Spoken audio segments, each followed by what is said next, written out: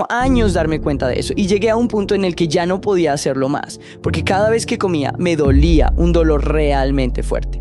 Ahora me dolía la cabeza. Me dolían las articulaciones. Nos vemos y solo pensé mucho tiempo. Es como si solo estuvieras desintoxicándote. Solo te estás desintoxicando porque dejé de fumar, dejé de beber. Cambié mi dieta el mismo día. ¿Sabes? Es como... Sí, porque soy una persona intensa y hago las cosas de manera intensa.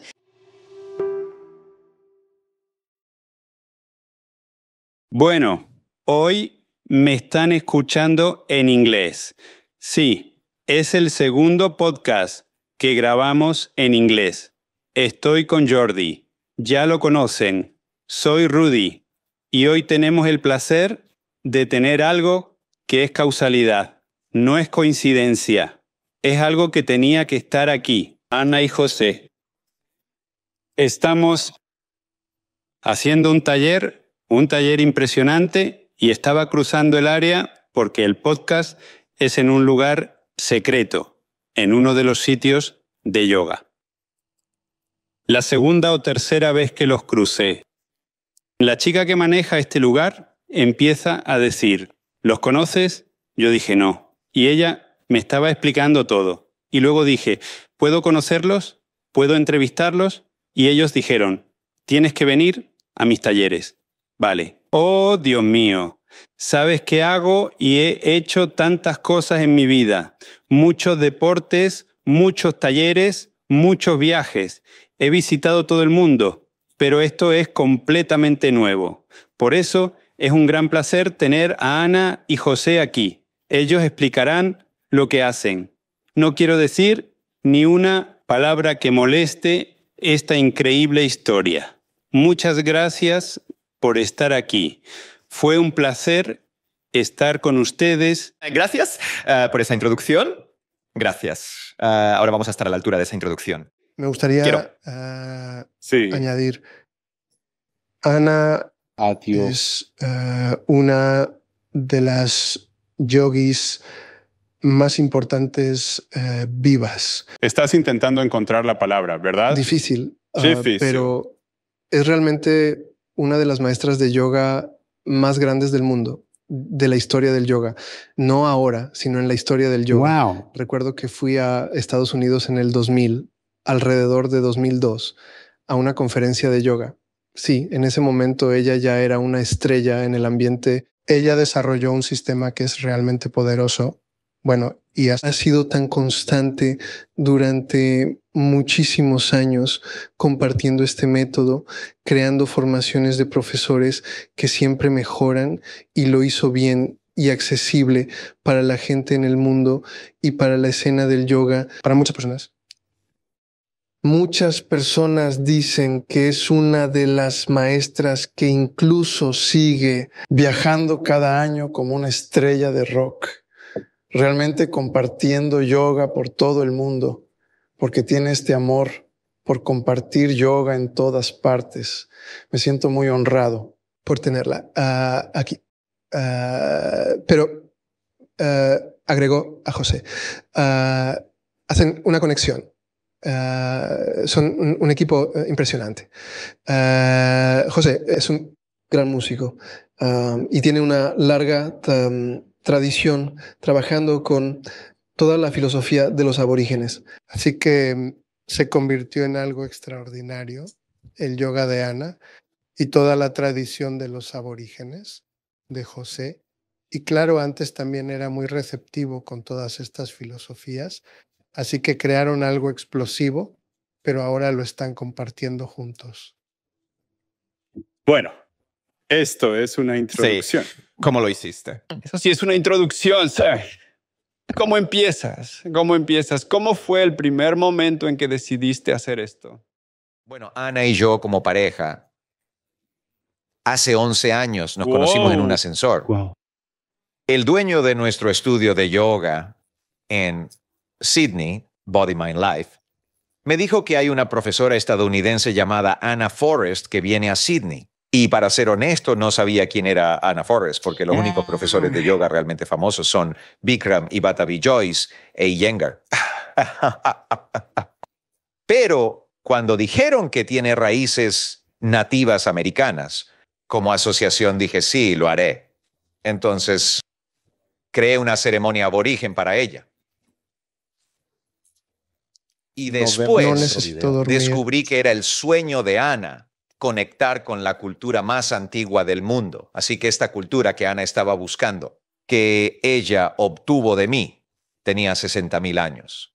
Así que antes del yoga, antes de la religión, antes de las comunidades organizadas, los aborígenes ya tenían un hermoso sistema espiritual, filosofía y forma de vida, y ya estaban conectados al gran misterio. No fue hasta que los ingleses invadieron Australia y colonizaron a la gente que casi todo el conocimiento se perdió. No lo sé. Entonces, mi mundo, la filosofía, el chamanismo, el veganismo, músico, compositor, sanador, quería conocer a alguien en la industria del yoga que estuviera abierto a cambiar la cara del yoga.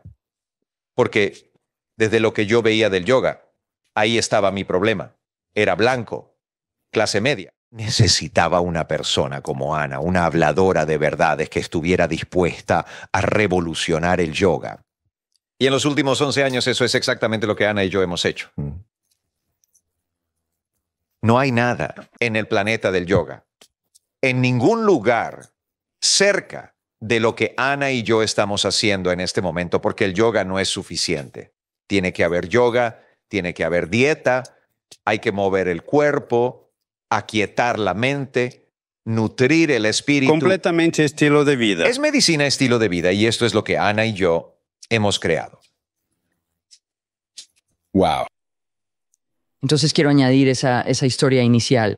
Es como he estado haciendo yoga desde 1973 Wow. y empecé a enseñar a tiempo completo en Y 1975. luego cuando... Nos conocimos en 2014, ¿sabes?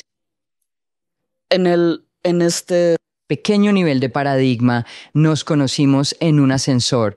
En el nivel de paradigma más grande, nos conocimos unos meses antes cuando estaba sentado y haciendo oraciones con mi pipa medicinal porque Oh. soy portador de pipa y esa es parte de mi responsabilidad como sanador y persona de medicina, cuidar a las personas con las que trabajo en el camino del yoga. Y estaba sentado en las montañas en California y haciendo oraciones sobre mi primer viaje próximo a Australia, porque había estado soñando con ir a Uluru, que en ese momento lo conocía como Ayers Rock, que es una gran roca roja en medio del desierto.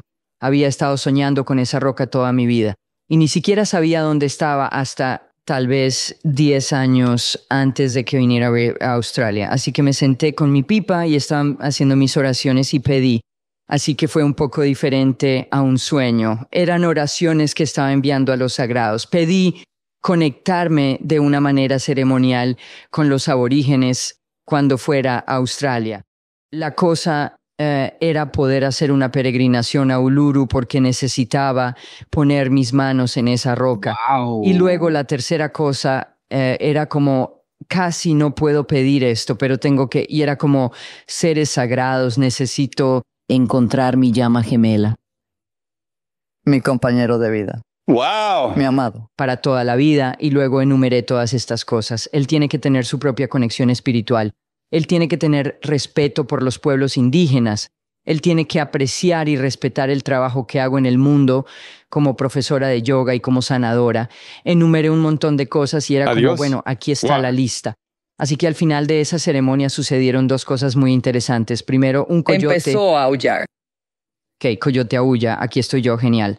Y luego escuché un silbato de tren y el lugar en el que estaba sentado en estas colinas de California había estado ahí muchas, muchas, muchas veces porque mi amigo vivía allí.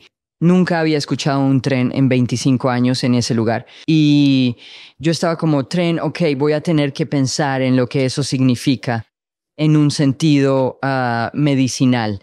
Así que avanzamos rápidamente. Eso fue en enero. Creo que en febrero fui a Australia y José y yo tuvimos este encuentro ah, muy divertido en Eso el fue muy ascensor. gracioso. Como cuando la puerta se cerró, él se lanzó dentro y luego dijo, sabes, estás en la fuerza y solo lo miré. Él estaba como ¿Qué demonios? Y luego la puerta se abrió y ahora que sé esto sobre José, Ella no sabía que iba a hacer una ceremonia. Fue un gran, gran secreto, pero fue la primera vez que vio una actuación aborigen y estas actuaciones no son solo un espectáculo, es como un despertar espiritual. Y había 70 profesores de yoga de toda Australia en esa ceremonia y la gente lloraba porque este show es tan poderoso. Y tenía una compañía aborigen llamada Descendants Aboriginal. La página web sigue activa ¿Tú? y recorrimos más de 50 países, Juegos Olímpicos, Mundial de Fútbol, los festivales más grandes del mundo. Él manifestó todo esto y nosotros éramos muy profesionales. Nuestro audio era profesional, nuestro equipo técnico era profesional, yo era un director artístico, así que planifiqué cada minuto. Así que cuando llegué a Forest Yoga, quería dirigir los talleres y formaciones de maestros como una película. Y audio profesional y todo profesional, porque viniendo del mundo del entretenimiento, noté que el negocio del yoga era algo amateur, amateur en presentación y entrega.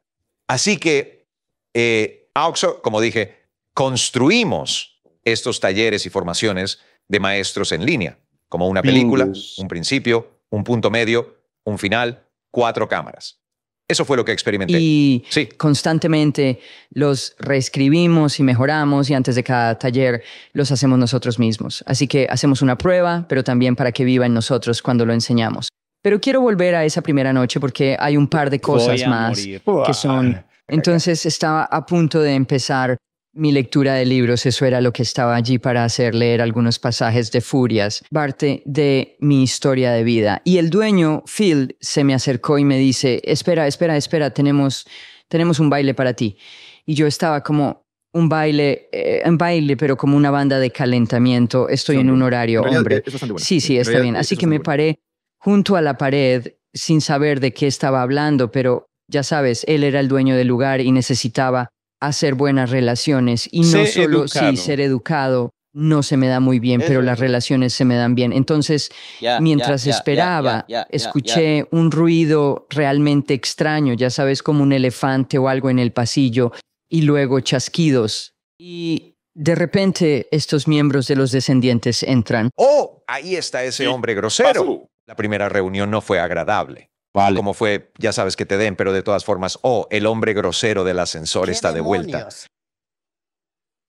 Entonces entraron y estaban todos pintados con ocre, ya sabes, como para Gracias. la ceremonia, y tocando un didgeridoo, que en realidad no es su verdadero nombre. Jiggy Jiggy es uno de los nombres reales, y palmeando palos, haciendo todo este ruido. Y estaba atónito porque era como, dije, Oh, Dios mío sagrado, esto fue mi ceremonia de la pipa y podía escucharlos riendo porque ese es el tipo de relación que tengo con ellos. Adiós por ahora. Es una Adiós. relación real, no imaginaria. Y se reían y no sabía por qué se reían. Y se reían porque todo lo que pedí acababa de entrar en la habitación. Y hicimos la danza del bautismo espiritual y la danza del buen espíritu. Solo dos bailarines y toda la audiencia estaba llorando. Cambiamos la atmósfera así. Tan pronto como el didgeridoo comienza y la pintura está puesta, pasa a otro mundo. Y luego yo. He estado recorriendo el mundo con Ana. Hemos visitado más de 30 países juntos como instructores de yoga y sigo, de hecho tengo reservado los próximos años, estoy reservando hasta el 2026, así que organizo los recorridos de la misma manera en que viajamos con grupos aborígenes. Así que en más de 50 países, ahora que somos coinstructores, gestionamos nuestra energía muy bien, muy, muy cuidadosamente, porque cuando conocí a Ana, fue hospitalizada varias veces debido al horario.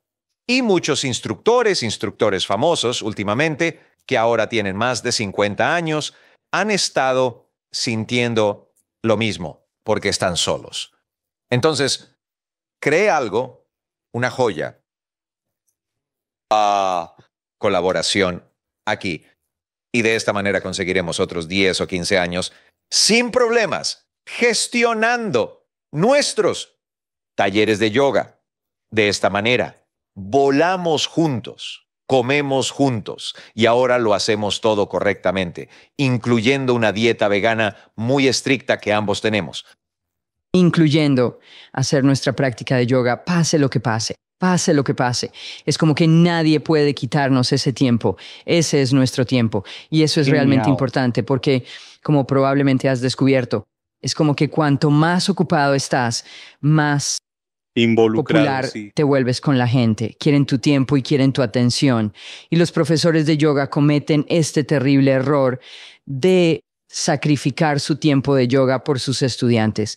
Sus estudiantes siempre tendrán los problemas que tienen, pero si el profesor no está lleno de energía vital por su práctica de yoga, no serán competentes para poder ayudar a sus estudiantes. Pero también los dueños de Sí. estudios de yoga, como sabrá Jordi, que posee tantos estudios. ¿Siempre haces tiempo para practicar? No, no importa qué, o a menos que estés lesionado, por supuesto, Sí, como tú lo estás ahora. hace unas dos semanas. Enviando mensajes a las 11. Así que no duermes mucho, ¿verdad? Solo a veces te escribo a las 11. am, a veces pasan algunas cosas tarde en la noche, pero aún me centro en las 4. Pero al principio, cuando empezamos a colaborar, mm, Ahí te estaba enviando por la mañana para... Sí, decidí dejar que descanses y No, te no. levantes. Estaba hablando de las 11 de la noche. A veces El escribes muy...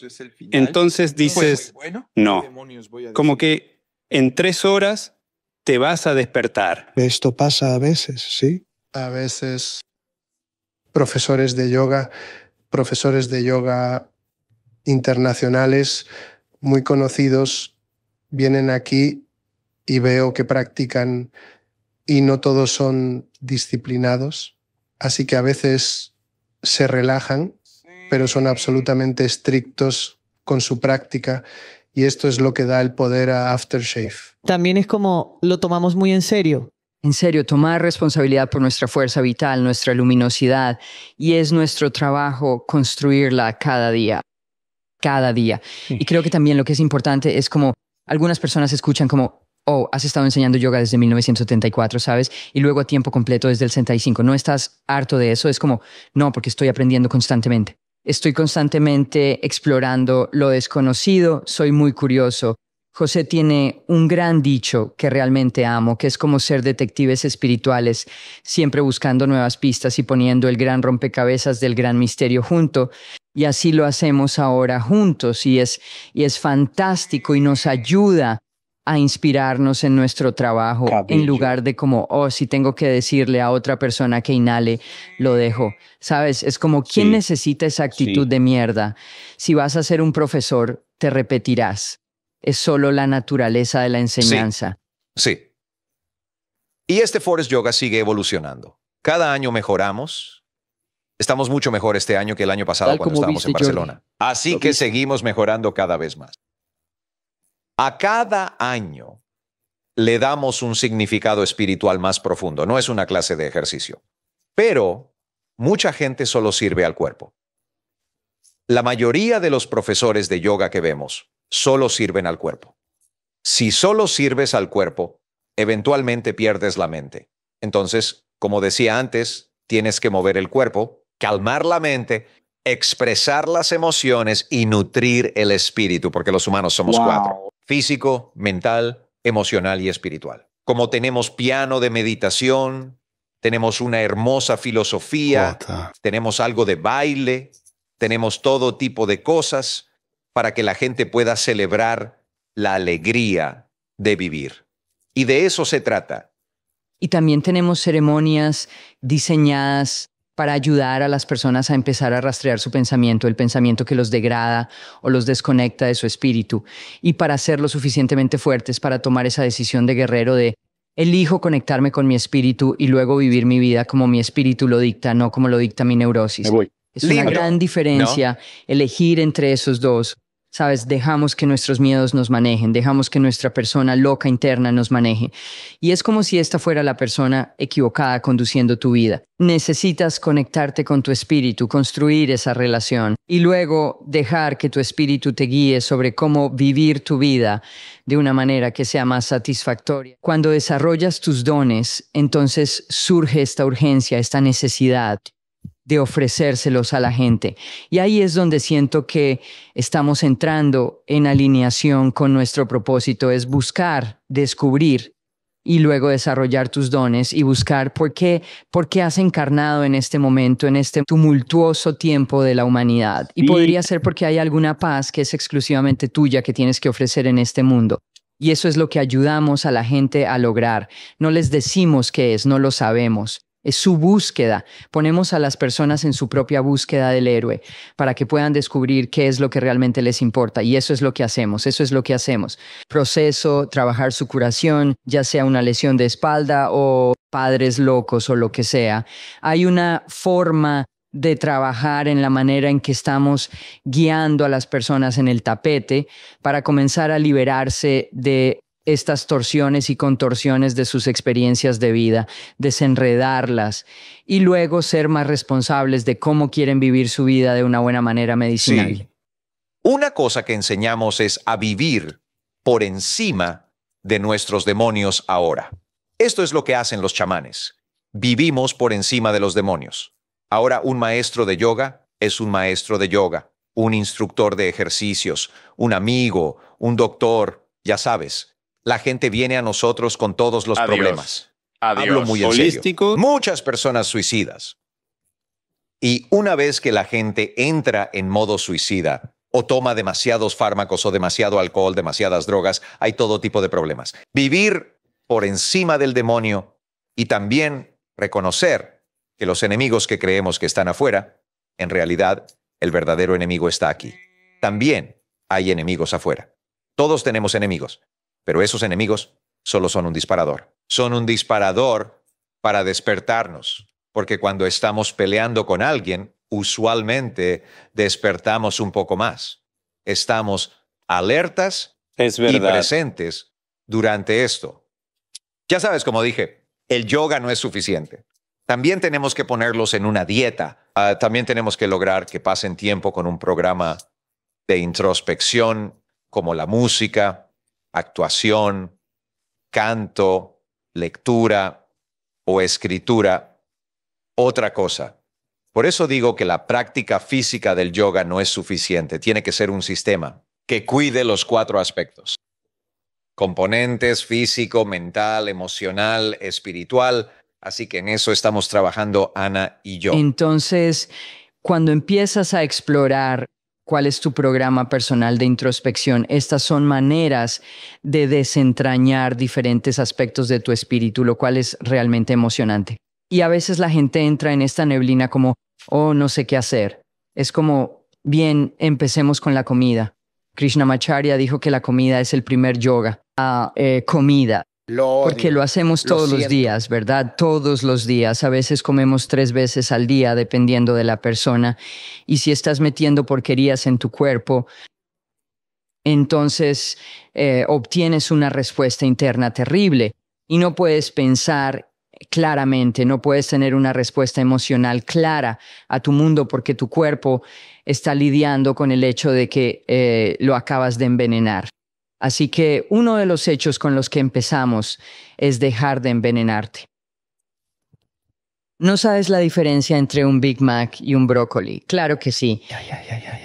No sabes la diferencia entre beber alcohol y beber agua. Claro que sí. Empieza con lo que puedes discernir de inmediato y te ayudaremos a seguir expandiendo tus percepciones. Y una de las primeras cosas que hice cuando me convertí en codirector de Forest Yoga fue convertir a Forest Yoga en una empresa amigable con los veganos. Shivarai también era vegetariano, Sean Korn, así que algunos de los principales maestros de yoga del mundo ya eran veganos. Ah, Sharon Gannon y David Life son veganos. Y el tipo de Nueva York. también es vegano o vegetariano, no estoy seguro. Así que eso fue muy importante porque siempre he sido una persona por los derechos de los animales, ya que en Australia han matado a más de 100 millones de canguros. 100 millones, que es la mayor matanza de animales. Entonces, no solo canguros, koalas, todo tipo de... Todos nuestros animales están empezando a desaparecer y a extinguirse. debido a la deforestación y a todo tipo de otros problemas. Así que Pensamos en crear un sistema de yoga no violento, ahimsa no violento, pero la violencia también es comer animales torturados. Y cuando consumes un animal violado y torturado en tu plato de cena, esa energía regresa a tu cuerpo. Ana Los ha sido 10 vegana y- por más de 10 años.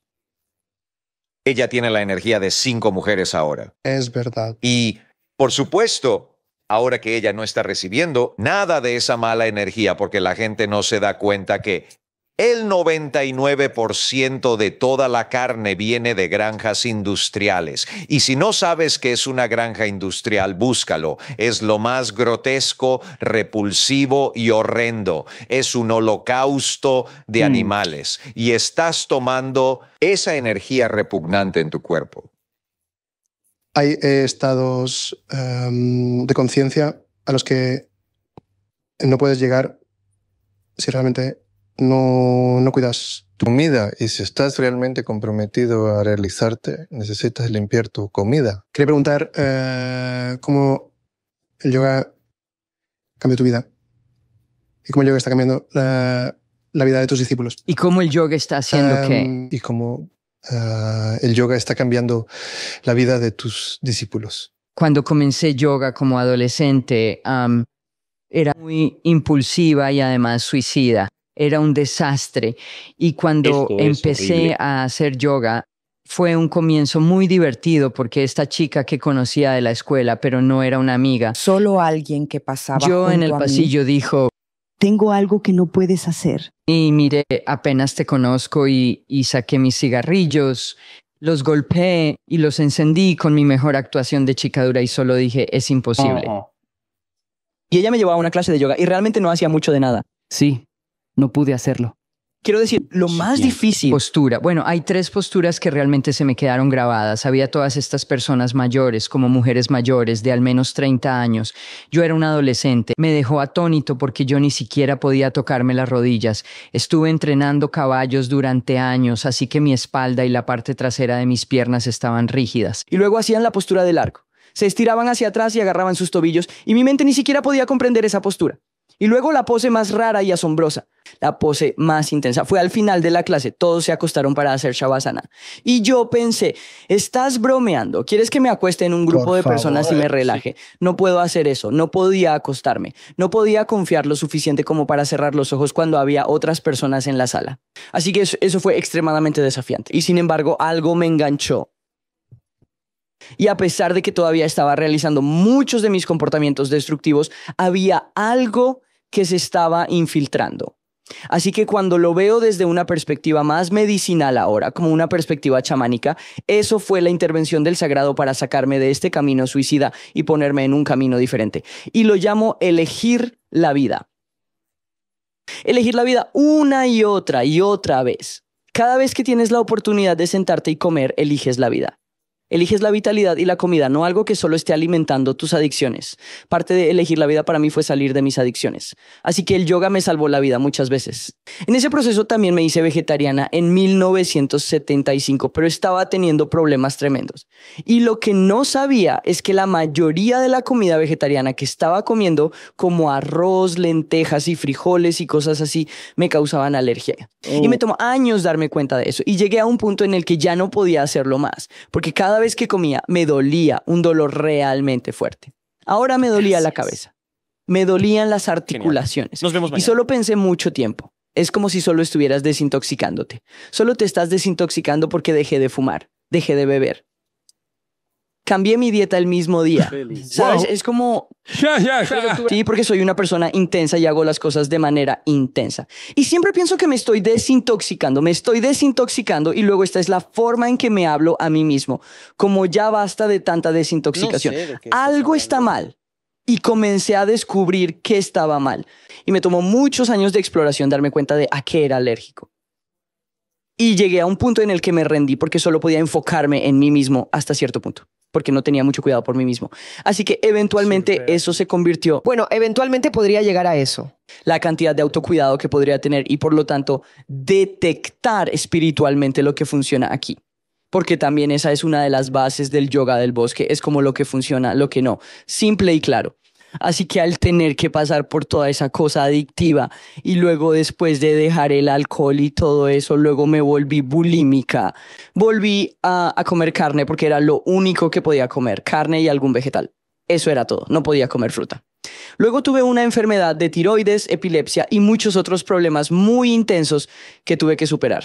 Sabes, intenté ir a la medicina americana y eso simplemente no funcionó para mí. Era como drogas o cirugía. Yo pensaba, no gracias, no gracias. Tiene que haber una forma diferente. Voy a crear otro camino. Entonces, en mi proceso de sanación, comencé a obtener respuestas y luego las compartía con mis estudiantes que tenían algunos de los mismos problemas, como personas con adicciones, abusos sexuales, lesiones en la cabeza. Porque pasaste por todo Oh, eso, sí, puedes ayudar sí. a otros. Así que las terribles experiencias que tuve, básicamente, esta es otra de las premisas del yoga del bosque. Convertí esa mierda en fertilizante y aprendí a utilizarla de una buena manera para mis estudiantes, pero también para mí. Y luego me mudé a una, no sé, una reserva y viví en la naturaleza durante varios años y cazaba para obtener mi comida. Así que cuando José y yo nos conocimos, yo era una cazadora. Así que cazadora conoce a un, a un guerrero Oh, pacífico vegano. vegano. Y es como, wow, tenemos cosas que resolver yeah, aquí. Yeah, yeah, José yeah, yeah, yeah. empezó a hablarme un poco al respecto. Es como, no Ni sé, siquiera quiero escucharlo. Y luego me di cuenta como que estaba excepcionalmente rígido. Y he estado enfocado en mi propia sanación por tanto tiempo. Tal vez pueda enfocarme en qué puedo hacer de una manera diferente que ayude a la Tierra, porque veo estos problemas y necesito retroceder muchísimo, muchísimo, muchísimo, hasta cuando dejé de entrenar caballos, cosa que amo al grado que sabía cómo amar. Me encantaba hacerlo y entrené otros animales. Gatos, perros, serpientes, pájaros. Tú dime, yo podía entrenarlo y me di cuenta que los animales que usualmente recibía eran los que estaban heridos o locos y lo que los hacía heridos o locos eran los humanos. Y me di cuenta que podría ser un entrenador y sanador de animales e incluso un veterinario. Estaba asistiendo a los veterinarios cada vez que venían a trabajar con los animales y no estaba lidiando con el problema principal. El problema principal son los humanos. Y lo que sentía que debía y estaba realmente atraído a hacer era enseñar yoga porque estaba haciendo una gran diferencia en mi vida. Y eso fue lo que me hizo entrar a mi primer curso de formación de profesores y dejar las adicciones, como ser lo suficientemente valiente para descubrir de qué trata la vida sin todo esto. Pero me tomó entrar en las formas de medicina, las maneras de los nativos americanos indígenas para conectar con mi espíritu. El yoga no pudo llevarme allí por sí solo. Y así, mientras comenzaba a, explorar lo que era esto y me daba cuenta de las actitudes que tenía muy cerca y apretadas, como mi odio y resentimiento, tuve que dejarlas ir para hacer esta conexión. Tenía que hacer que la conexión con mi espíritu fuera más importante que mi odio y dolor y todas esas cosas. Así que esto también es donde comencé a fusionar la ceremonia con el yoga, en el yoga del bosque.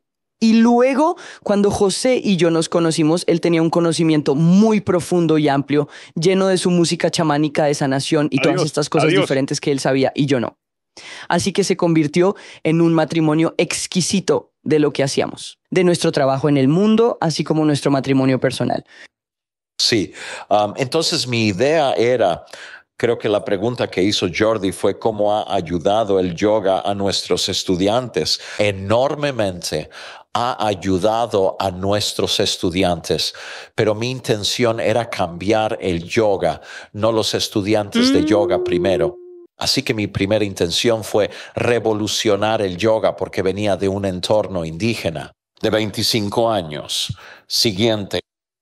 Ahora, hay algo realmente profundo y real sobre las culturas indígenas antes de la colonización, porque una vez que ocurrió la colonización, los indígenas cayeron en la bebida, las Eso drogas, todo eso. El 90% de nuestra gente fue asesinada. Así que esto es lo que hizo la colonización. Y aún hoy la gran mayoría de los aborígenes mueren a mediados de sus 40. Así que este es el resultado de la colonización. Pero antes de la colonización había algo real en la cultura indígena, nativos americanos, aborígenes, maoríes. Había algo profundo y real que el yoga no tenía. Y tal vez el yoga original lo tenía, pero ciertamente no la versión americana de yoga que tenemos hoy. Así que para traer esto, esta verdad y comprensión profunda a la clase de yoga, todas las cosas que podría hacer para revolucionar el yoga, el chamanismo, el veganismo, la sanación con música, el baile. Había tantos aspectos. Y como dijo Ana, el yoga no era suficiente para hacer la conexión espiritual. Si solo quieres una clase de ejercicio, está bien, pero la gente viene al yoga porque lo necesita. No para una clase de ejercicio, aunque cuando estaba con Bikram, sí, veníamos al yoga solo por una clase de ejercicio y para sudar, pero en algún momento la gente viene al yoga para hacer una conexión y tratar de encontrar la felicidad en un mundo muy, muy cruel. Lo están logrando de verdad. Pero volviendo al veganismo de Ana, como cuando conocía a Ana, su dieta era unidimensional. Era solo carne, verdura, carne, verdura, carne, verdura, carne, verdura. ahora, ese tipo de dieta no puedes vivir así. Así que Ana fue hospitalizada varias veces, tenía dolores de cabeza crónicos y tampoco diría que era una persona totalmente feliz. Pero después de un año juntos, de repente su dieta fue así, así, así, así, y de repente estaba comiendo de todo el espectro de frutas y verduras. Ahora, ¿por qué eso es importante? Es porque el segundo cerebro está en el estómago y el segundo cerebro tiene 39 billones de microbios. Ahora, lo que los microbios quieren comer son vegetales y frutas y no alimentos procesados. Así que esto es lo que despierta a los 39 billones, 39 billones de microbios. Ahora, un estómago feliz es un humano feliz porque el estómago y el cerebro están conectados. Hay algo llamado el nervio vago.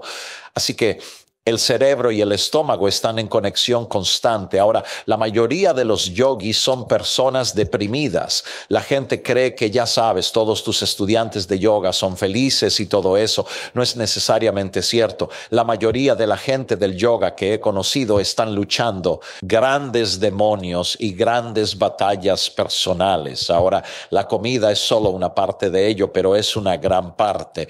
Y alimentar tu estómago con frutas y verduras orgánicas dicen que debes comer más de 30 plantas a la semana, diferentes plantas. Entonces lo que sucede es que los microbios comienzan a, es como un planeta, ¿sabes? Y de repente los microbios están regocijándose y el cerebro y estómago están conectándose y un estómago feliz es un humano feliz. Así que eh, estos son los últimos 10 años de investigación sobre el microbioma, se llama. Cualquiera que quiera buscarlo, microbioma es una nueva investigación. Y en el yoga del bosque hacemos abdominales abdominales al principio de la clase. Los microbios quieren frutas y verduras frescas, quieren ejercicio, ejercicio de núcleo, quieren dormir, quieren sol, quieren música. Son como 39 billones de... Es como una persona, quiero felicidad. Sí, y sabes que la ciencia ha probado esto porque ahora descubrieron que el 80, o no saben exactamente, pero el 80 o 90% de la serotonina que producimos proviene de las bacterias que tenemos. Bacterias Exactamente. intestinales. Apenas estamos aprendiendo esto ahora, que si mantienes tu eso cerebro, feliz, sí. tú Una serás pequeña feliz. ayuda. Serás Sí. más feliz. Conozco a muchos nutricionistas que dijeron que cambiar la comida cambió a la persona. Y aquí está la completamente. cosa. De la depresión a la felicidad. Solo cambiando y, la comida. uh, y aquí está lo malo de la medicina convencional. Los fármacos, la radioterapia y todo matan el microbioma. Cada vez que tomamos medicamentos farmacéuticos se matan miles de millones de microbios. Entonces, Ahora estamos aprendiendo esto también, pero claro, será un secreto porque el negocio farmacéutico prospera con la enfermedad, los hospitales prosperan con la enfermedad. Es un gran negocio. Exactamente. Es el más grande. Es un gran negocio. No quieres que la gente tenga esta información. Quieres las camas del hospital al 100% cada mes, no al 50, al 100%. Bueno, eso es lo que ellos Sí. quieren. Eso no es lo que Eso es nosotros todo por la primera Así semana. que quiero retroceder un poco en eso. Es como cuando José y yo estábamos hablando y él me mostraba algunas películas diferentes para darme más información. Y tuve que tomar esto de manera rígida, como si ya hubiera experimentado con esto. Eso fue, ¿sabes? Tuve que dejar de lado mis creencias rígidas. ¿Sabes? Era como, no me digas qué hacer. Y esa era mi actitud. Y él no lo hizo. Solo dijo, aquí hay otra En cierto información. punto fue como, lo haré. Arriesgaré a hacer esto porque aún, aún creo que no funcionará para mí, pero quizás mis creencias estén equivocadas. Y como nosotros, ya sabes, José tuvo que aprender a cocinar para mí también. Um, fue muy desafiante para un chef gourmet aprender a lidiar con mis alergias. Y a medida que podíamos expandir los alimentos que podía comer y no lastimarme. Eso fue increíble. Y luego los alimentos que sabía que no podía comer, ya sabes, como la fruta. No puedo comer fruta porque desencadenaba ah, mi enfermedad de No tiroides. Y luego comencé a poder comer fruta y se sentía muy bien. Desencadenó mi tiroides, mi enfermedad de tiroides desapareció, wow, se fue. La epilepsia que tuve la manejé años antes a través del yoga y la respiración y también a través de otro trabajo ceremonial. Pero esto fue realmente increíble lo que estaba ocurriendo con mi capacidad de absorber alimentos y estar abierta a ellos en lugar de estar siempre nerviosa como Por "Ah, supuesto. bien voy a comer esta comida y me va a causar dolor durante un par de horas. Eso no estaba sucediendo. Y lo que sí sucedió, lo cual fue tan extraño y tan maravilloso y devastador todo al mismo tiempo, es que comencé a ver como un chamán ve, ah, pude ver este polvo de carbón negro comenzando a filtrarse de mi piel. Y, y supe que como esto es algo realmente importante y me tomó un tiempo reconocer que esto era la angustia y sufrimiento de los animales saliendo. Y luego eh, lo que hizo eso fue ponerme en una encrucijada para reconocer cuando me preparaba nuevamente para perpetuar mi propia angustia y sufrimiento. Así que una vez más estaba en un punto de cambio masivo, teniendo que cambiar la forma en la que percibía mi mundo y la manera en que operaba en mi mundo que me preparaba para el sufrimiento. Entonces, de lo que Ana está hablando aquí es de los chamanes nativos americanos, cuando comes un animal violado. Los nativos americanos comen animales. Sin embargo, antes de cazar, tenían que hacer oraciones, tenían que prepararse y cuando reunían al animal, rezaban por él e invitaban al espíritu del animal a ser parte de ellos, de ellos mismos. Así que esa es la preparación adecuada antes de comer un animal. Cuando comes un animal violado, un animal que no tiene oraciones, nada, como en la agricultura industrial. La agricultura industrial es solo producción en masa. Entonces, justo antes de que los maten, mueren. Ponen su adrenalina en la carne y luego eso se transmite a la persona que la come y luego tienes cánceres, enfermedades y todo tipo de cosas que los animales los animales violados están pasando. Así que cuando ves el polvo de carbón negro, esto es una cosa chamánica nativa, americana psíquica, sabes que has comido un animal violado, un animal sobre el que no se ha rezado. Así que eso es de lo que está hablando. Una de las herramientas que me ayudó a curar mi bulimia fue aprender a, a, rezar sobre mi comida y pedirle a la fuerza vital de esa comida, ese brócoli o lo que sea que estuviera comiendo, que se alineara conmigo de una buena manera y de una manera curativa. Y rezo Hablar con sobre la mi comida. comida. Bueno, es, es más que eso, es alinearse. Una era una oración sobre ella, como pidiendo a esa comida, esto, el espíritu de esa comida para alinearse conmigo de una buena manera. Pero luego también pondría ah, mis manos al otro lado de ella y haría que mi energía corriera a través de ella para que literalmente se alineara conmigo. Pero luego también incluiría mis oraciones por el mundo y conecto mis oraciones sobre mi comida con la tierra, el cielo, fuego, agua, estrellas, sol, luna, los espíritus de las plantas, de los insectos, de los pájaros, de los animales, los sobrenaturales, los sagrados. Ah, les pido y me conecto con ellos cada vez que como y eso es parte de mi camino espiritual. Y me hace centrarme en esta comida como un regalo y honrar eso y ser respetuoso con eso y ser respetuoso con lo que traigo a este mundo mágico, cosa llamada cuerpo. Quiero decir, pensamos como, oh, ya sabes, solo el cuerpo. Es Entonces, Khalil Gibran, quien escribió más grande. un libro llamado El Profeta. No estoy seguro de si fue Tu audiencia lo sabe, pero es el mejor libro de todos los tiempos, el segundo simplemente- más vendido de todos los tiempos todos. después de la Biblia. Un místico llamado Un libanés. Khalil Gibran, el mejor libro Jamás escrito llamado El Profeta. Todos deberían leerlo. Y él dijo que un hombre amargado horneará un pan amargo. Así que cuando cocines o hagas algo, siempre hazlo con la intención de amor. Por eso Cállate. rezamos sobre la comida, porque a veces quien prepara nuestra comida puede ser un animal maltratado, puede ser un chef enojado, puede ser está alguien molesto.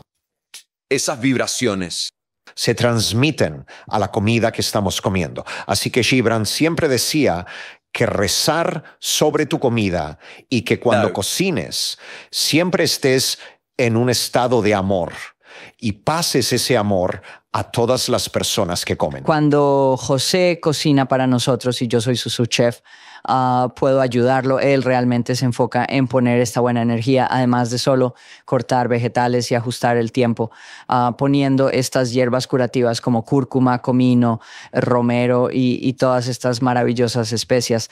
Se enfoca en hacer de esto una comida curativa para cada uno de nosotros. Ah, es una energía hermosa y todo lo que se necesita Es un cambio de enfoque. Sí, un ¿Verdad? chef enojado haciendo cosas enojado. Comí mi trabajo y luego tú te lo comes. Sí. Sí. Siento algo dentro como... ah, En sí, este momento, sí. teniéndote aquí para compartir, ¿cómo ves el yoga como, como,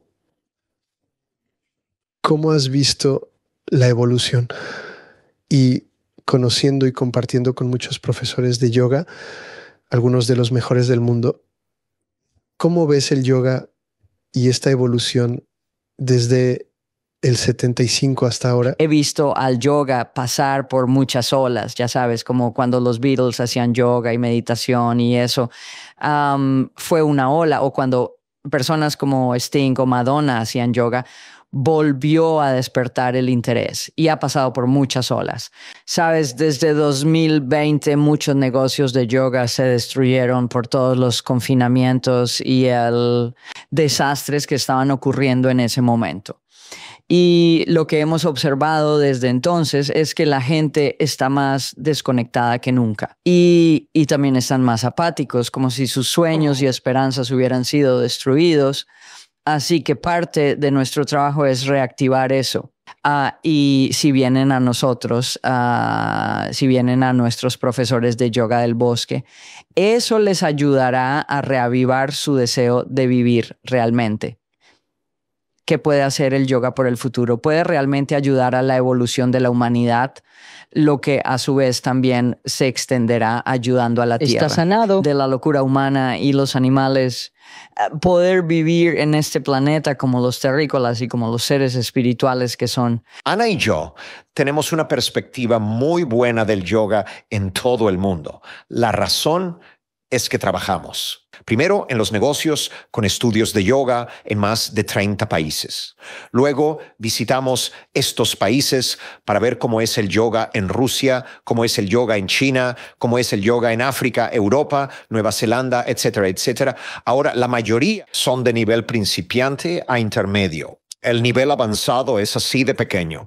Es muy reducido el estudiante avanzado. Ana y yo estamos creando un sistema en el que puedes tener principiante, intermedio y avanzado en la misma clase, sin decir que esta es una clase avanzada. Porque a lo largo de los años, Ana ha creado diferentes niveles bajos para cada sistema. Así que creo que es muy, muy y ahora mismo estamos pensando en crear yoga en silla porque hay muchas personas que no pueden levantarse, como mi madre. Mi madre tiene 90 años y no puede levantarse, así que crear algo, algún movimiento para personas que no se pueden mover. El yoga tiene un gran futuro porque la mayoría de la gente que conocemos está comiendo mal, está fuera de forma, no pueden tocar sus dedos de los pies, ni siquiera pueden acercarse a sus rodillas, mucho menos tocar sus dedos de los pies. Así que tenemos mucho por hacer y tenemos un entendimiento del yoga a nivel global. Otros maestros de yoga están solo en una ciudad. Anur y yo somos universales, así que podemos experimentar y también podemos ver cómo, va el negocio. Después de 2020 pudimos ver estudios en Rusia y China desplomarse y nos contactaron y ayudemos. Está con ira. Los estudios en Rusia, creamos clases en línea para Rusia, rompimos el récord de la clase de yoga más grande de la historia. La gente de Beijing me escribió y dijo, José, el estudio de yoga se está yendo a la quiebra. Los chinos están deprimidos y toda esta vacunación y toda esta horrible extralimitación, yo llamo a esto extralimitación gubernamental. Demasiado gobierno es una mala cosa, no es algo bueno. Gobierno, religión, política, todo el dogma debe desaparecer para verdaderos estudiantes de yoga. Entonces, con Beijing, en una depresión severa, los dueños del estudio de Beijing, que era Yogi Yoga, creamos una clase para tratar la ansiedad y la depresión. Y hubo algo así como 350 mil participantes, a 350 mil personas en línea. Entonces, en ese momento estábamos en mitad de un entrenamiento y le dije a Ana, deberíamos hacer esto. Ya sabes, deberíamos hacer esto. Entonces, al final del entrenamiento, simplemente nos lanzamos y armamos una increíble clase de 30 Solo 30 minutos, creo, 30, 40 minutos. Y fue una clase de ansiedad. Y esa fue la clase más grande. Ana y yo hemos enseñado a 350 mil personas en China. Eso es impresionante. Sí. Wow. Estoy aprendiendo mucho, así que... Conocemos bien este negocio porque tratamos con las cuatro esquinas del mundo. Tenemos la vista desde la montaña. Las personas que solo están en una ciudad están en el valle. Nosotros estamos en la montaña. Y esa es la diferencia. Sí, como un águila. Definitivamente una vista de águila. Y esperamos que te unas a nosotros. Poder venir y realmente traer Forest Yoga a través de España. Porque España para mí es un lugar relativamente nuevo para estar aquí. Y solo ha sido a través de ti y tu negocio que hemos llegado aquí. Y es como si la gente fuera muy receptiva a nuestro trabajo. Y lo necesitan, realmente lo necesitan. Así que es una gran oportunidad. Es como hagamos más, Max. Y entonces tienes que venir a la clase. Muchos estudios en Madrid y gente de toda España, cuando hago entrenamientos en Madrid, vienen. Así que podemos hacer Barcelona, y Madrid. Eso sería increíble. Sigo diciéndole a Ana lo maravillosa que es Madrid y que deberíamos ver algunos shows de flamenco. Mira, esos son bailadores. Flamenco. Flamenco es. Aquí está la cosa acerca de España. Flamenco es nuestra forma de arte favorita. Tal vez lo aborigen esté ahí, alguna buena música clásica india y algunas cosas africanas realmente buenas, pero el flamenco está justo en la cima del árbol. Ahora, una cosa que la gente no sabe de mí es que fui uno de los padrinos del flamenco en Australia. Entonces, en Australia no había flamenco y de repente vino Antonio Vargas, un maestro de flamenco, y tuvimos que entrenar. Los australianos rodearon al maestro Antonio y finalmente logramos una gran escena de flamenco en Melbourne y en Sydney. Y luego me fui por mi cuenta Bueno, y creé um, un espectáculo llamado Flamenco Dreaming, que incluía gitanos españoles y aborígenes juntos. Y el espectáculo dejó a la gente alucinada. Luego vinimos a Barcelona al centro de convenciones e hicimos Flamenco Dreaming en un gran evento corporativo con 30 bailarines de flamenco. Así que hay otra cosa. el flamenco y yo tenemos una gran conexión y tuve algunos espectáculos que rompieron récords. Uno de ellos se llamaba Antípodas. No sé si sabes esto, pero Australia y España son antípodas. Está de bien. una vez. Así que estamos. Buena conexión con tu país. Wow. Sí. Sabes, todo lo que decías, yo tomaba nota. Decías muchas veces que muchas cosas venían de tus sueños. Sí. Así que manifiestas mucho. Todo. Decías Grande. que lo estabas esperando, su presencia que salía de ese ascensor. Sí, sí. Y parte de la filosofía aborigen está construyendo es que la los realidad sueños son, porque- aquí es donde encuentras las respuestas a la vida, porque la vida es la ilusión, el amor es el sueño. Así que todo está al revés. Entonces, lo que los chamanes comenzaban a hacer es que comenzaban a entrar en los sueños conscientemente. Así que cuando estamos dormidos, podemos recordar un poco del sueño, solo un poco del sueño, pero lo que sabían los chamanes aborígenes es que las respuestas a la vida estaban en el sueño. ¿Y cómo lo sabían? Es que tenían un sueño y el sueño se hacía realidad. Así que si un sueño se hace realidad, piensas, bueno, ¿cómo sucedió eso? ¿Cómo es que puedo volar en un sueño? Un sueño no tiene límites, no tiene fronteras, no tiene nada. Así que tal vez podría descubrir el sentido de la vida. Y, Gracias. y no me refiero a sueños de ansiedad y sueños de preocupación. Mucha gente tiene estos sueños de celos, ira, odio, llevan eso al mundo de los sueños. Pero los chamanes eran capaces de caminar en los sueños. Y un caminante de sueños es alguien que sabe que está en un sueño. Sueño ellos- lúcido, ¿verdad? un caminante de sueños. Y entonces aprendimos a manejar el fuego, aprendimos la astrología de las estrellas, aprendimos los secretos de los animales, aprendimos a conectar con el sexto sentido, todo a través de los sueños y el soñar. Verás a todos los espíritus aborígenes en la pintura y se llaman los espíritus Mimi. Y los espíritus Mimi son los ayudantes de la humanidad para alcanzar la evolución y el despertar. Entonces, la mujer que casó a Ana y a mí es la persona más asombrosa, psíquica, es tan negra como la noche, tiene el pelo plateado casi hasta las rodillas.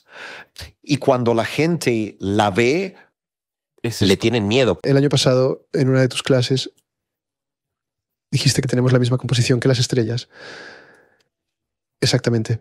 Sí, cualquier persona puede hacer esto. Solo ve a Google y busca los ingredientes de las estrellas. Los aborígenes dicen, venimos Las de- estrellas. y volveremos a las estrellas. Lo que significa es que una vez que morimos, nos convertimos en cenizas. Y la Tierra es una estrella muerta. La Tierra es una estrella muerta. El Sol es una estrella. El polvo de estrellas tiene seis ingredientes. Solo búscalo. Busca los seis ingredientes y luego busca los seis ingredientes de los humanos. Pero busca los seis ingredientes de un río. Busca los seis ingredientes de los animales. Todo tiene los mismos seis ingredientes, solo en diferentes denominaciones, en diferentes porciones. Entonces, cuando Ana creó el pulso espiral de la estrella abdominal, ella dijo, esto es una celebración o para girar las partículas de polvo estelar en nuestro cuerpo. Y yo dije, wow, eso es algo Estoy aborigen. en casa. Venimos de las estrellas, volvemos a las estrellas. Así que estamos hechos de polvo de estrellas. Nuestro cuerpo Y así en este pulso espiral de estrella, que es una variación de codo a rodilla, lo que yo estaba trabajando cuando estaba creando eso era que estaba drenando toda la toxicidad de mi vida, de mis huesos, pero en realidad estaba debilitando mis huesos porque era como si esas cosas mantuvieran mis huesos juntos. Y pensé, bueno, ¿qué quiero aquí en su lugar? Y me encantó absolutamente. Me encanta el comienzo cuando mi, alma se libera, salgo volando hacia las estrellas y campos de estrellas. Y entonces con lo que comencé a trabajar realmente es iluminando las partículas estelares en mis huesos. Una revolución completamente diferente en cuanto a mi propia curación y mi propia regeneración celular porque se estaba regenerando a partir de la luz estelar y podría iluminar y puedo iluminar mis huesos y es muy emocionante, pero necesita mucha concentración y no siempre lo consigo y no siempre lo hago. Pero hay veces en las que siento que lo necesito, lo quiero y cuando lo hago es como estimulante, igual sensación. Puedo decir que Ana, a su edad, tiene una práctica increíble. Estamos mucho, mucho en mejor forma que nuestros estudiantes. Cuando hacemos un entrenamiento avanzado para profesores, nadie puede seguirle el ritmo a Ana y a mí. Hay una pero pareja. tan impresionado. Pero yo estaba, pero lo que hacemos es que durante un entrenamiento avanzado para profesores, Ana y yo practicamos durante tres horas y media, cuatro horas. Luego volvemos a hacer la clase con los estudiantes. Además, la gente no puede igualar la energía que Ana y yo tenemos.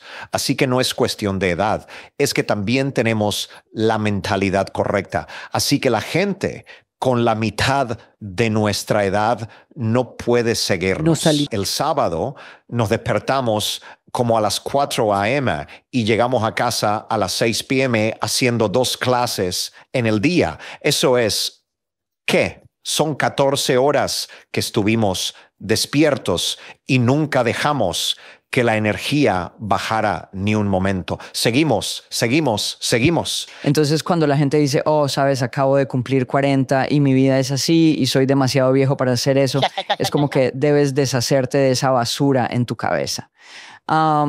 es una completa mentira en la que crees y por lo tanto haces que suceda.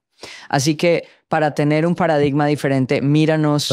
cuando la disciplina y el trabajo duro se convirtieron en lo habitual, es cuando realmente cambias tu vida y evolución.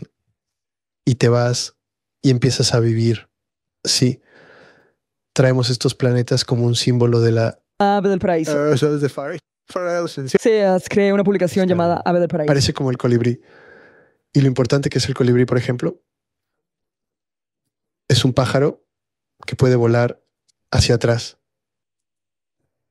Es el único que puede volar. El colibrí. El colibrí vuela hacia atrás. Hacia atrás. Rápido va. Sí. Puede hacerlo. Mancha. Ah, sí, el colibrí, sus perdón. son fluorescentes. Paz. Sí, en este ritmo. Lo necesito. Paz. Um, Paz. paz. Paz. Sí. Y durante la noche se detienen completamente.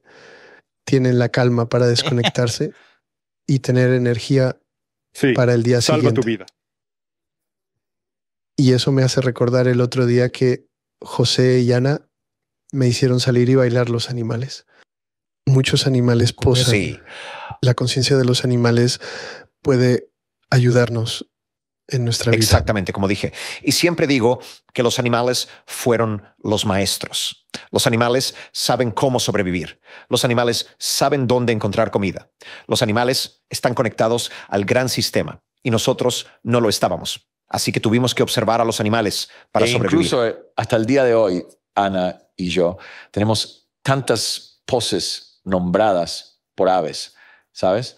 El brolga, especialmente. El brolga. Eso es muy... Sí, puedo hablar. Entonces mirábamos al pájaro y decíamos, oh, está parado en una pata en el agua, ¿por qué? Y nos preguntábamos, ¿por qué? ¿Por qué? ¿Por qué? ¿Por qué? Y está parado en una pata en el agua, porque cuando los peces pasan, si solo ven una pata, no saben que es un animal.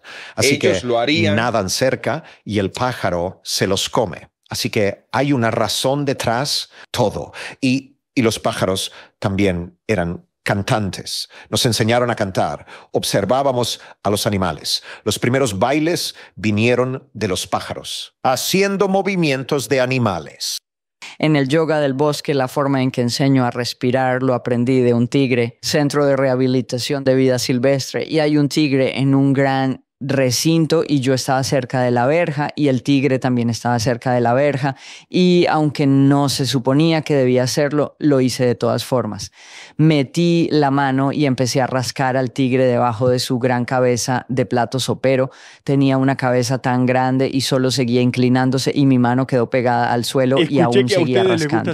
Y comenzó a ronronear. Ni siquiera sabía que los tigres ronroneaban y fue increíble y fue como quiero ser como ese tigre, ese es mi animal de medicina principal, es el tigre. Y ya sabes, él estaba relajado, hermoso, sexy.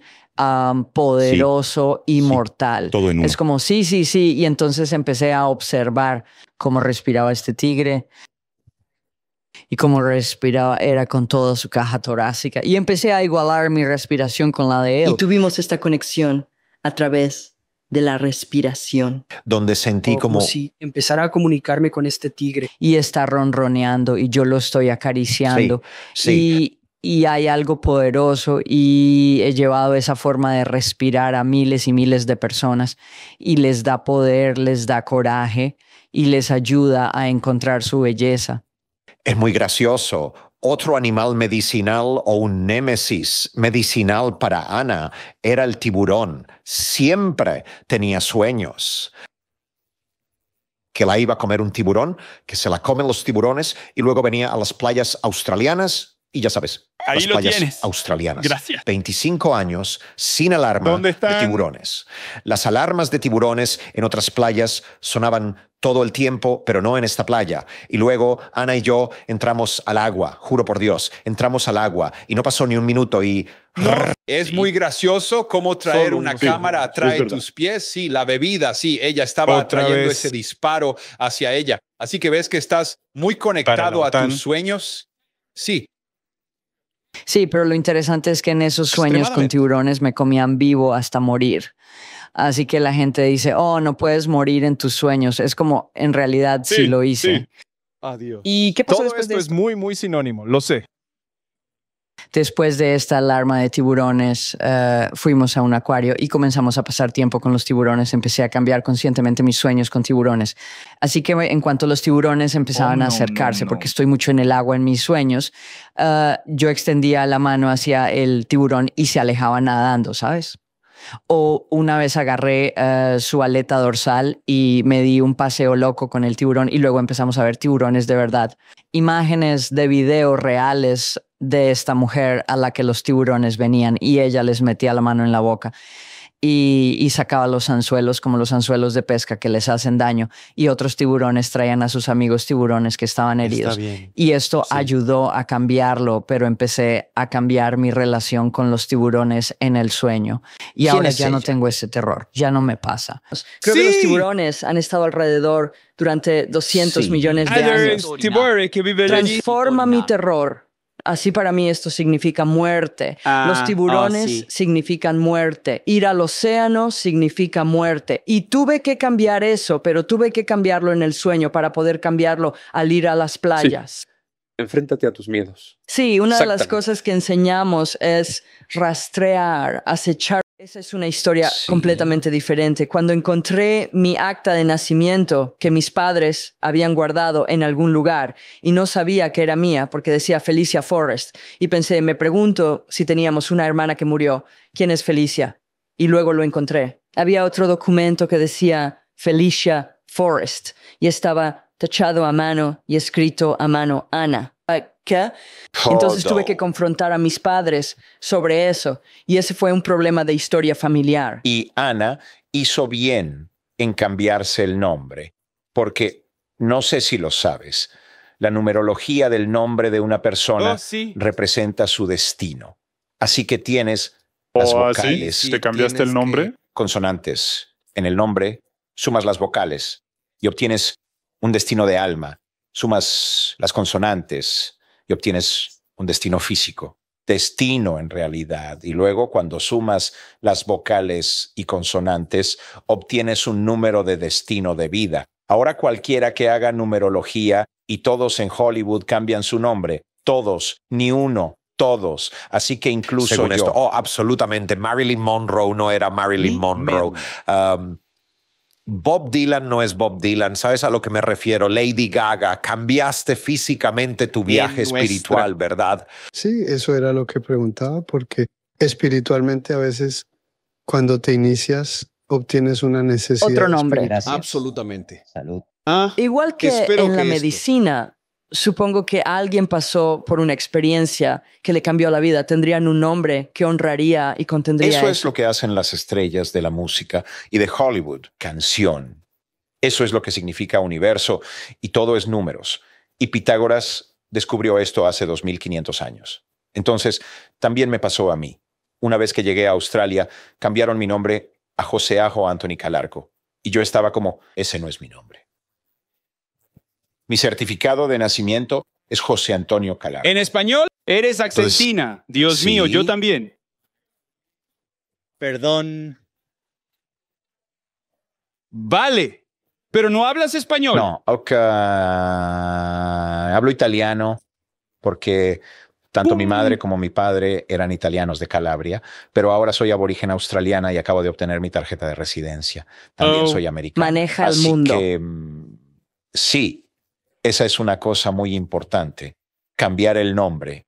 Y para Ana, Ana era una desgraciada cuando usaba ese nombre. Un numerólogo le dijo exactamente qué hacer y no me importa si la gente lo cree o no. Pero pasó, ¿no? Mueren. Lo cambié. El nombre era como la misión, ¿no? El nombre era parte de eso. Esta mujer dijo que tu nombre equivale a cataclismos, desastres, Desastres, sí. y es como, bueno, sí, sí, estoy bastante cómoda En en, vida. cataclismos y desastres. Esa es mi vida y ella dijo que necesitaba cambiar mi nombre y es como, bueno, Ana Forrest es mi nombre profesional y no quería como dejar atrás todos los años que le dediqué a ese trabajo, pero cambié la ortografía de mi primer nombre. Porque me gusta más la ortografía en español. A-N-A, en lugar de A-N-N-A. Y luego añadí mi animal de medicina, que es el tigre, y eso lo cambió. Eso Sí. lo cambió. No puedes cambiar tu fecha de nacimiento. Tu fecha de nacimiento te da un destino. Sin embargo, tu nombre te da dos destinos. El destino de las vocales A, E, I, O, U y luego el destino de las consonantes S, P, T, todo eso. Pero no puedes cambiar tu fecha de nacimiento, pero sí puedes cambiar tu nombre. Investígalo. Sabes, no es todo, pero es una gran parte. Sabes, Elton John se llamaba Reginald Dwight. Y Reginald Dwight nunca iba a ser una superestrella, pero Elton John sí iba a ser una superestrella. Buen cambio. El nombre de Lady Gaga era Stephanie Germanotta. Te veo Lo que en me encanta es cuando dices que la vida es una ilusión. El amor Sí, la vida es, la un ilusión, sueño. el amor es el Me sueño. encanta eso. El amor es, en última instancia, de donde venimos. El universo es, antes de que hubiera dualidad, solo había amor. Solo había amor. Pero era necesario que hubiera dualidad y oscuridad para que pudiéramos experimentar algo. Y esto es lo que estamos experimentando ahora. Tristeza, alegría, felicidad, pero el objetivo final es volver al amor. Eso es volver al amor, volver a la no dualidad. Mientras haya dualidad, siempre habrá miseria. Y esto es el sueño aborigen. Lo que estamos viendo aquí en realidad es una ilusión. Pero diviértete. Bueno, fue un tremendo y gran placer conocerte en mi vida, porque estaba, estaba muy emocionado al principio, cuando ella comenzó a hablar. Estaba pidiendo ayuda a los grandes poderes porque tenía que encontrar a José y no sabía dónde estaba en el planeta. Así que es bastante milagroso que nos reunimos. Y lo llamó llama gemela. No creo que nadie en España sepa Oh, lo que es una llama Le dijeron lo mismo a mi una novia y a mí. no almas gemelas. Con las almas gemelas puedes tener seis o siete diferentes almas gemelas. Puede ser tu madre, tu padre, tu amigo, tu amante, pero llama gemela, solo una, solo una. Es que vinieron de la misma energía Sí, o algo así. es la misma energía Sí, me dijeron eso a mí y a mi pareja. Sí, mi pareja Sí. no sabía lo que era hasta Así un que podcast. encontraste tu llama gemela. Felicidades. Ja, ja, ja, ja, ja, ja, ja. Así que quiero agradecerte mucho por estar con nosotros esta vez. Mucho, mucho. Y gracias a Jordi también. Gracias, Julie. Me estoy volviendo más espiritual. De una manera muy rápida porque es una locura. Le dije a todos que habrá un podcast sobre longevidad y ahora es mi podcast espiritual. Oh, Adiós, Kenny. podcast de despertar. Sí. ¿Y estoy tan contento de tener esta conversación y aprender de tus espíritus? Sí. Muchas gracias por este tiempo. Gracias, caballeros. nada. Fue un placer. Gracias. Si alguien está interesado en saber más Oh, sí. de ellos, Forest Yoga. Forest Yoga.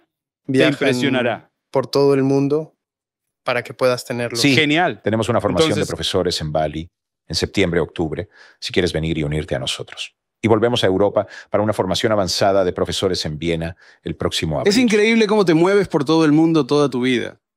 ¿Cuántos días será en Viena? Nueve días Nueve días en El fin. Viena. Wow, Adiós. quiero ser así. ¿Cuándo? y 25 días en Bali. Sí. Sí.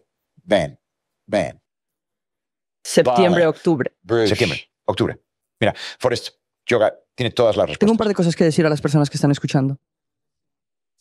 Esto Una es- es Respira como un tigre. muy profundo. Usa toda tu caja torácica. Comienza a buscar tu propósito en estar vivo. Practica yoga en el bosque. Porque es el mejor regalo que tenemos para dar Sí. al mundo y queremos que Bien, lo tengas. ahora tengo que añadir otra palabra. Digo, todo lo que quieres. Está al otro lado del miedo. Exactamente. Sí. Y sabes, la analogía. El yoga en el bosque.